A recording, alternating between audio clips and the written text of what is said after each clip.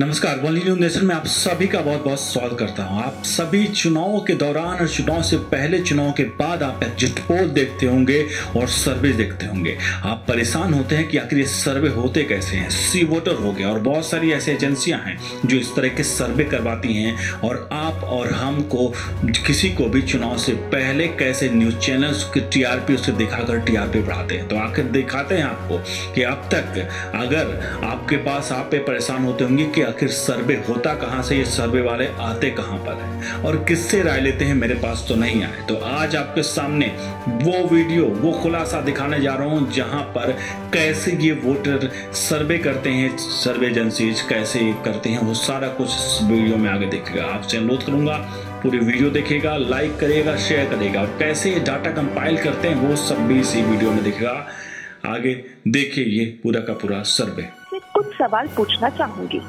अगर आप उत्तर प्रदेश में मतदान करते हैं तो एक दबाएँ। अगर आप उत्तराखंड में मतदान करते हैं, पहला सवाल, वर्तमान में आपके लिए सबसे महत्वपूर्ण मुद्दा क्या है बेरोजगारी के मुद्दे के लिए एक दबाएँ। बिजली, पानी या सड़कों की स्थिति के लिए दो दबाएँ। कोरोना महामारी के मुद्दे के लिए तीन दबाएँ। स्थानीय शिक्षा सुविधाओं की स्थिति के लिए चार दबाएँ। कानून व्यवस्था या महिला सुरक्षा की स्थिति के लिए पाँच दबाएँ। सरकारी कामकाज में भ्रष्टाचार पर नियंत्रण के लिए छह दबाएँ। सी ए एन आर सी या एन पी आर जैसे राष्ट्रीय मुद्दों के लिए सात दबाएँ। महँगाई या बढ़ती कीमतों के लिए अगला सवाल, इस मुद्दे पर बीजेपी की वर्तमान राज्य सरकार ने जो कामकाज किया है, उसको आप कैसे आंकते हैं अच्छा के लिए एक दबाएँ, ठीक ठाक के लिए दो दबाएँ। अगला सवाल कुल मिलाकर मुख्यमंत्री के तौर पर योगी आदित्यनाथ के कामकाज को आप कैसे आंकते हैं अच्छा के लिए एक दबाएँ, ठीक ठाक के लिए दो दबाएँ, खराब के लिए तीन दबाएँ। अगला सवाल पिछले लोकसभा चुनाव में आपने किस पार्टी को वोट दिया था बीजेपी के लिए एक दबाएँ। अगला सवाल, पिछले लोकसभा, अगला सवाल, आप उत्तर प्रदेश के किस क्षेत्र में रहते हैं? अवध के लिए एक दबाएँ। बुंदेल, अगला सवाल, आप उत्तर प्रदेश के किस, अगला सवाल, प्रधानमंत्री के रूप में नरेंद्र मोदी के कामकाज को आप कैसे आंकते हैं? अच्छा के लिए एक दबाएँ। ठीक ठाक के अगला सवाल उत्तर प्रदेश के मुख्यमंत्री के रूप में आपका सबसे पसंदीदा उम्मीदवार कौन है? बीजेपी अगला सवाल। उत्तर प्रदेश के मुख्यमंत्री के रूप में आपका सबसे पसंदीदा उम्मीदवार कौन है? बीजेपी के योगी आदित्यनाथ के लिए एक दबाएँ, सपा के अखिलेश यादव के लिए दो दबाएँ, बसपा की मायावती के लिए तीन दबाएँ, कांग्रेस की प्रियंका गांधी के लिए चार दबाएँ, आरएलडी के जयंत चौधरी के लिए पाँच दबाएँ, अन्य किसी भी उम्मीदवार के लिए छह दबाएँ। अगला सवाल क्या आप योगी आदित्यनाथ के नेतृत्व वाली राज्य सरकार से नाराज़ हैं और इसे बदलना चाहते हैं नाराज़ हैं और सरकार बदलना चाहते हैं तो एक दबाएँ। नाराज़ तो हैं पर सरकार बदलना नहीं चाहते हैं तो दो दबाएँ। अगर नाराज़ नहीं है और सरकार बदलना नहीं चाहते हैं तो तीन दबाएँ। अगला सवाल आप जिस किसी भी पार्टी को वोट देते या समर्थन करते हैं इसके बावजूद आपके विचार से उत्तर प्रदेश के विधानसभा चुनाव में इस बार कौन सी पार्टी या गठबंधन जीतेगा बीजेपी के लिए एक दबाएँ, कांग्रेस के लिए दो दबाएँ, सपा के लिए तीन दबाएँ, बसपा के लिए चार दबाएँ, अन्य पार्टियों के लिए पाँच दबाएँ। अगर आपको लगता है अगला सवाल आप जिस किसी भी पार्टी को वोट देते या समर्थन करते हैं इसके बावजूद आपके विचार से उत्तर प्रदेश के विधानसभा चुनाव में इस बार कौन सी पार्टी या गठबंधन जीतेगा बीजेपी के लिए एक दबाएँ, कांग्रेस के लिए दो दबाएँ, सपा के लिए तीन दबाएँ, बसपा के लिए चार दबाएँ, अन्य पार्टियों के लिए पाँच दबाएँ।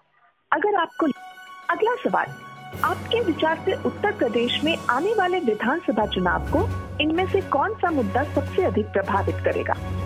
सांप्रदायिक ध्रुवीकरण के लिए एक दबाएँ, किसान आंदोलन के लिए दो दबाएँ। राज्य सरकार ने जिस तरह से कोरोना महामारी से निपटा उसके लिए तीन दबाएँ। माफियाओं और गैंगस्टर्स पर कार्रवाई के लिए चार दबाएँ। राज्य सरकार की योजनाएँ जैसे मुख्यमंत्री स्वरोजगार योजना एंटी रोमियो स्क्वाड अवैध कत्लखानों को बंद करना इत्यादि के लिए पाँच दबाएँ। प्रधानमंत्री मोदी की छवि के लिए छह दबाएँ। हाल में दूसरे राज्यों में हुए विधानसभा चुनावों और यूपी के पंचायत चुनाव में बीजेपी के प्रदर्शन के लिए सात दबाएँ। अर्थव्यवस्था के मोर्चे पर राज्य सरकार के कामकाज के लिए आठ दबाएँ। अन्य किसी भी मुद्दे के लिए नौ दबाएँ। अब मैं आपसे एक अलग सवाल पूछना चाहती हूँ। किसी भी पार्टी या नेता को समर्थन देने की बात भूल जाएँ और ये बताएँ कि क्या कोई ऐसी पार्टी है जिससे आप इतनी नफरत करते हैं या जिसे आप इतना नापसंद करते हैं कि चाहे कुछ भी हो, आप उसका समर्थन कभी नहीं करेंगे। अगर आप बीजेपी से नफरत या बीजेपी को नापसंद करते हैं तो एक दबाएँ। अगर आप कांग्रेस से नफरत या कांग्रेस को नापसंद करते हैं तो दो दबाएँ। अगर आप सपा से नफरत या सपा को नापसंद करते हैं तो तीन दबाएँ। अगर आप बसपा से नफरत या बसपा को नापसंद करते हैं तो चार दबाएँ। अगर आप आरएलडी से नफरत या आर को नापसंद करते हैं तो पाँच दबाएँ। अगर आप लेफ़्ट पार्टियों से नफरत या लेफ़्ट पार्टियों को नापसंद करते हैं तो छह दबाएँ।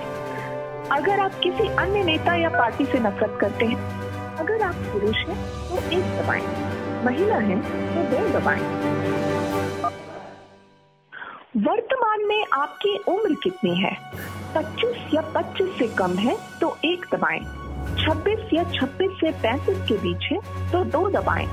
36 या 36 से 45 के बीच है तो तीन दबाएँ। 46 या 46 से 55 के बीच है तो चार दबाएँ। छप्पन या छप्पन से अधिक है तो पाँच आपकी जाति या समुदाय क्या है? दलित या हरिजन के लिए एक दबाएँ। आदिवासी के लिए दो दबाएँ। अन्य पिछड़ा वर्ग या ओबीसी के लिए तीन दबाएँ। सवर्ण हिंदू के लिए चार दबाएँ। मुसलमान के लिए पाँच दबाएँ। ईसाई के लिए छह दबाएँ। सिख के लिए सात दबाएँ। अन्य किसी भी समुदाय या जाति के लिए आठ दबाएँ।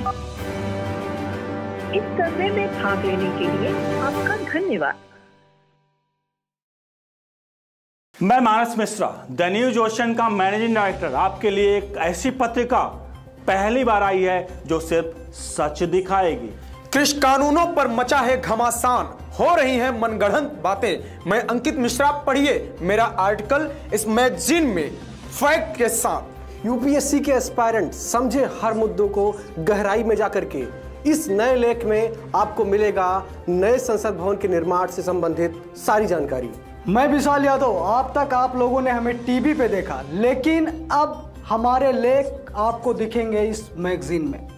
मैं Ranjeet Prasad reporter the News Ocean. हम आपको दिखाएँगे किसान आंदोलन के बीच में जिहादी कांड। सब्सक्राइब करें द न्यूज़ ओशियन खबरों का समंदर।